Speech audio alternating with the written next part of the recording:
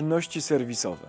Podnoszenie jakości pracy serwisanta poprzez opracowanie harmonogramu naprawy komputera osobistego. Konserwacja i działania profilaktyczne są kluczem do poprawy wieloletniego bezawaryjnego funkcjonowania całego systemu komputerowego.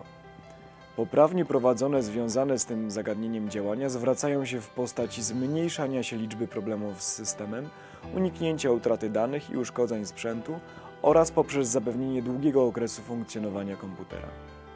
Czynności serwisowe, które regularnie powinniśmy wykonywać, mając pod opieką zestawy komputerowe, to m.in.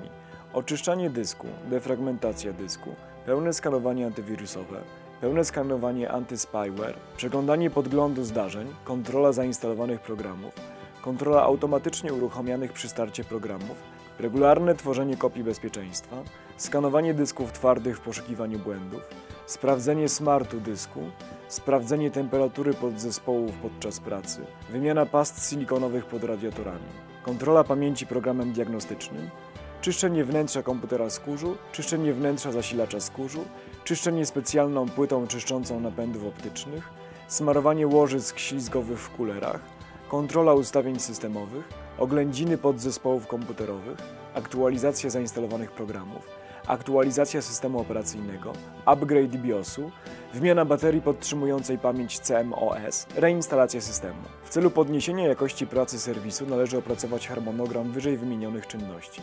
Powinien on uwzględniać następujące konieczne elementy.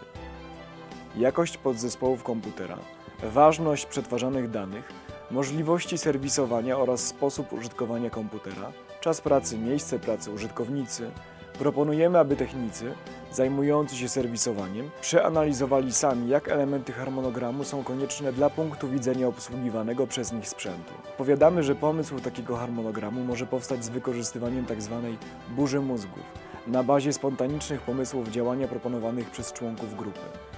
Niemniej ważnym czynnikiem konstrukcji harmonogramu jest konieczność zachowania chronologicznego układu czynności serwisowych. Harmonogram taki powinien zawierać pozycje takie jak liczba porządkowa, nazwa czynności, proponowana częstotliwość wykonywania czynności, narzędzia i programy potrzebne do wykonywania operacji oraz metody działania. Dziękuję za uwagę. Przejdź teraz do kolejnych elementów kursu.